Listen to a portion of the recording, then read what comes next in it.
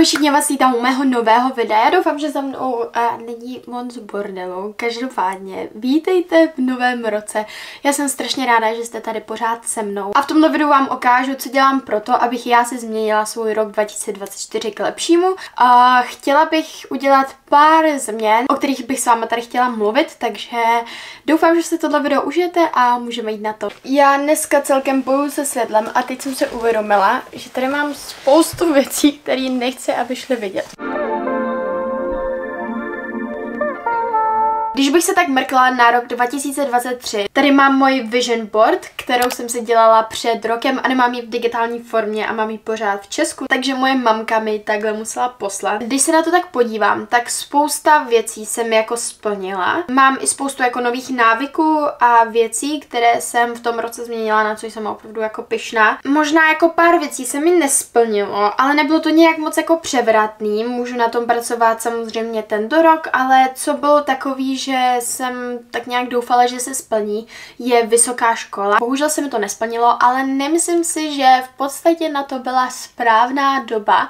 Myslím si, že díky tomu, že jsem nešla na výšku, jsem strašně moc věcí získala. Nechci tady zacházet nějak jako dopodrobna, na to možná bude další speciální video, ale v podstatě, kdybych byla na výšce, tak si říkám, že by mě asi nepotkalo tolik věcí za tu dobu, co mě potkalo. Nevím, jako já si říkám vždycky, jako co se má stát, se stane a Akorát ne, nemůžete být jako pasivní, musíte proto tak jako něco dělat. A všechny ty obrázky mají i jako určitou symboliku. To, že vypadají tak, jak vypadají, že třeba tady mám Hailey Bieber, tak ona má dokonalou skin a já jsem se chtěla zlepšit v mé skincare a myslím si, že jsem se v ní taky zlepšila. Sice teďka vidíte, co tady mám prostě na bradě, ale ve směs se o moji pleť stará mnohem líp. Každopádně už bych se trošičku vrhla na jinačí téma. Schválně mi dejte vědět, co jste si splnili za rok 2023 a v čem byste se ještě chtěli naopak zlepšit.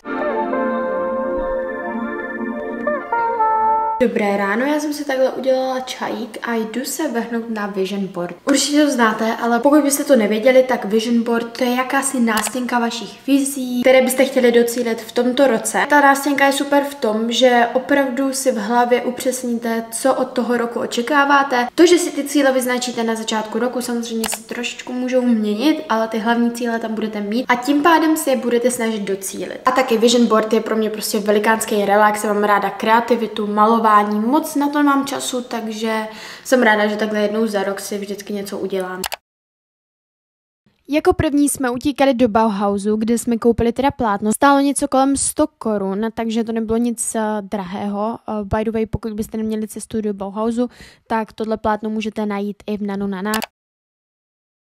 Když mám vyloženě tisknout nějaké fotky, tak vždycky jdu do DM, protože je to nejvíc super easy, můžete si to udělat podle vlastních představ, nikoho k tomu nepotřebujete a všem vám to doporučuji, pokud jste to ještě neskusili. Nakonec jsme museli použít jinou mašinku, kterou my v Česku nemáme, protože teď se nacházím v Německu.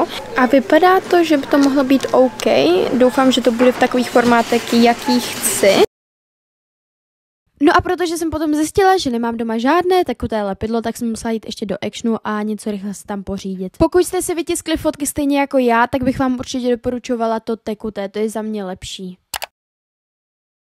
No a konečně se jdeme vrhnout na tu zábavnější část a to je stříhání obrázku. Pokud si myslíte, že jsem blázen, tak ano jsem, ale mě prostě stříhání obrázku baví.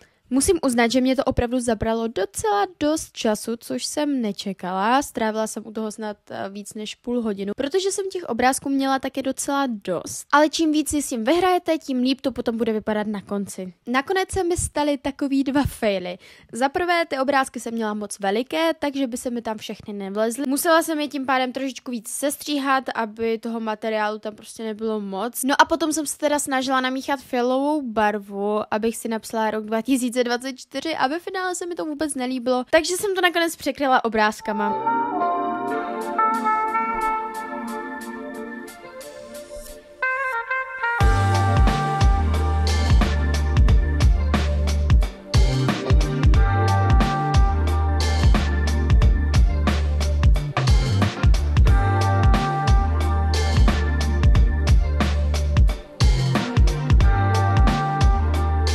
Takhle vypadá moje vision board. Fakt jsem na ní pyšná. Myslím si, že jsem mi letos opravdu povedla. A myslím si, že jsem tam dala opravdu všechno, to jsem měla naplánováno. Rozdělala jsem si to i letos do takových sekcí, abych se v tom dobře orientovala. Mám tady jak už YouTube, nějaký jako vysněný spolupráce, něco na čem bych chtěla zamakat a v čem bych se chtěla zlepšit. A všude kolem, jen tady můžete vidět, v takových těch bublinkách mám i motivační citáty, které si myslím, že budou vystihovat můj rok 2024, takže určitě ty tam můžete zahrnout taky. Taky jsem si to tak jako hezky vyzdobila různýma jako kytičkama, tady nálepkama, takže na to jsem taky pyšná. Tady dole mám i nějaké jako materiální věci, které bych tento rok chtěla získat za něco, co se mi třeba povede.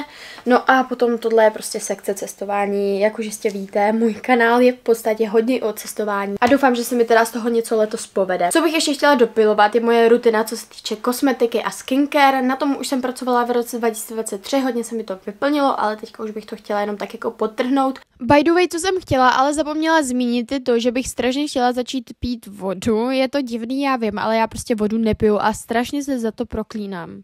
Plus chtěla bych pravidelně chodit do gymu. No a potom nakonec tady mám moji oblíbenou sekci a tím je Vysněná škola Univerzita v Belgii, na kterou bych se chtěla hlásit snad už co nejdřív. Víte co, já jsem ještě před dvouma rokama ani nepočítala, že bych vůbec mohla bydlet někde jako v zahraničí, protože jsem neuměla absolutně mluvit anglicky. Možná jsem tak uměla říct, jak se jmenuji, kolik mám let a tak dále, ale to bylo fakt opravdu všechno.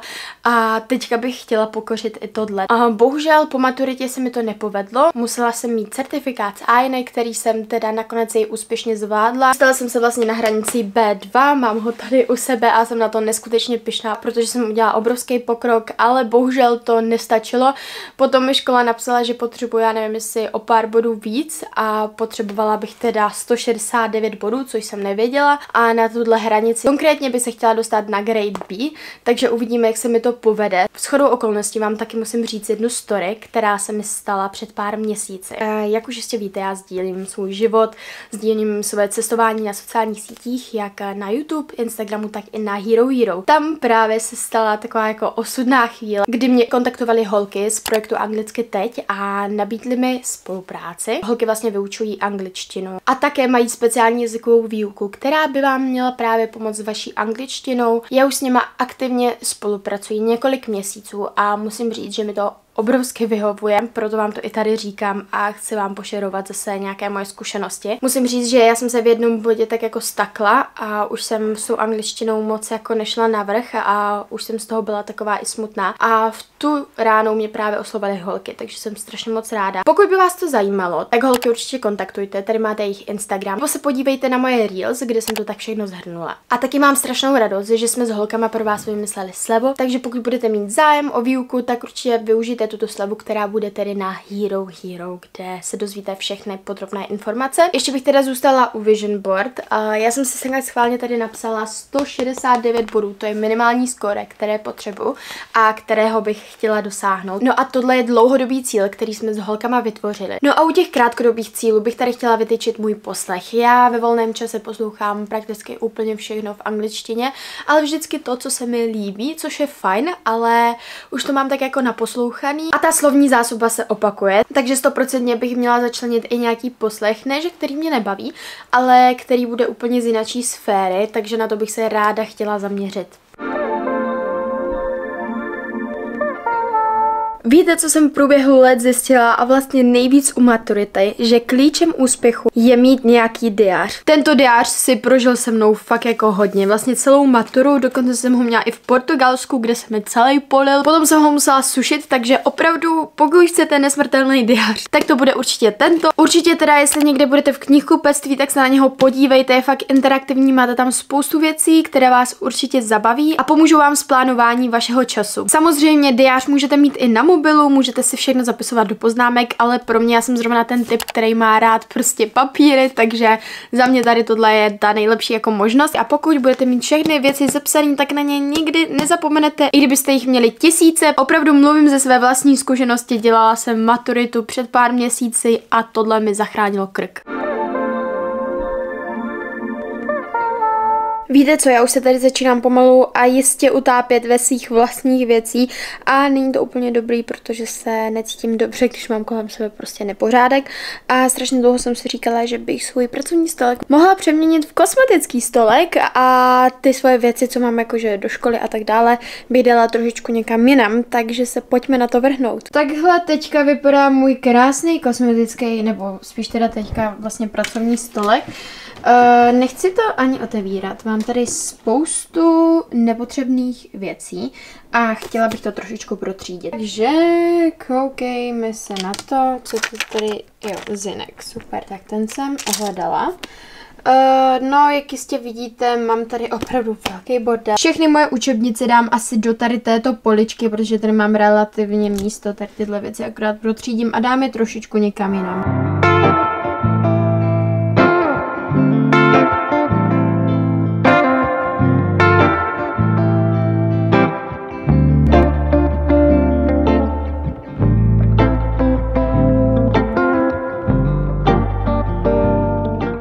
Já jsem si před nějakým měsícem na Amazonu koupila tady tyto pořádníky a jsem zvědavá, jestli to tam dobře zapadne do toho stolečku. Musím říct, že jsem to nakonec zvládla docela tak nějak odhadnout, a pěkně to tam pasovalo. Až na to, že těch krabiček jsem měla dostatek, ale tak jako je tam trošičku malé místo. Není to nic strašného.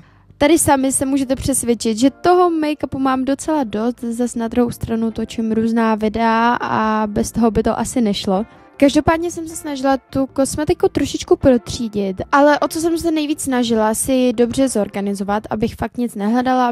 Já už jsem si teda udělala z mého pracovního stolečku kosmetický stoleček, sice se na něm pořád budu učit, ale mám radost, že mám svoji kosmetiku hezky protříděnou. Mám jí teda docela jako hodně, jsem si říkala, ty já mám ještě nějakou jako kosmetiku v Česku. Vzala jsem si právě sem jenom to nejvíc potřebný a stejně je toho dost, ale jsem na druhou stranu ráda, že to mám takhle hezky na očích, že to opravdu 100% můžu používat, až nepoužívám jenom pět produktů.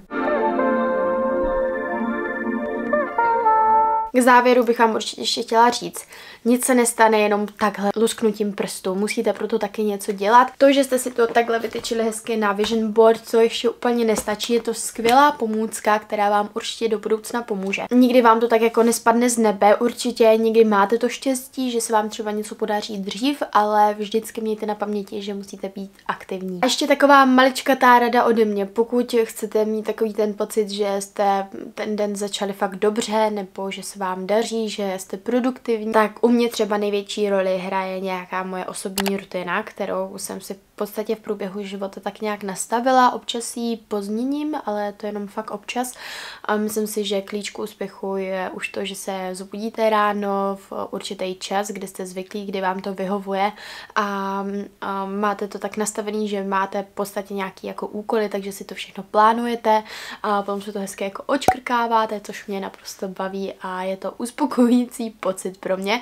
Takže určitě si nastavte nějakou rutinu nebo nějakou kostru vaší rutiny, kterou si postupně potom budete obměňovat, protože vám to opravdu usnadní život. A ať už byly věci, které se mi třeba v roce 2023 nepovedly, mm, byla jsem třeba z něčeho smutná, něco jsem chtěla, aby bylo jinačí, tak v podstatě jsem si řekla, že vlastně o nic nejde. Hlavní je to, že jsme zdraví, že můžeme dělat aktivity, které nás baví a které nás naplňují a to ostatní samozřejmě je taky důležitý k životu, ale pokud jsme zdraví, tak si myslím, že nic tak jako nahraditelného jako zdraví určitě není. Takže se mějte krásně, doufám, že se vám tohle video líbilo, nezapomeňte na slevový kód na Hero Hero a my se uvidíme u dalšího videa.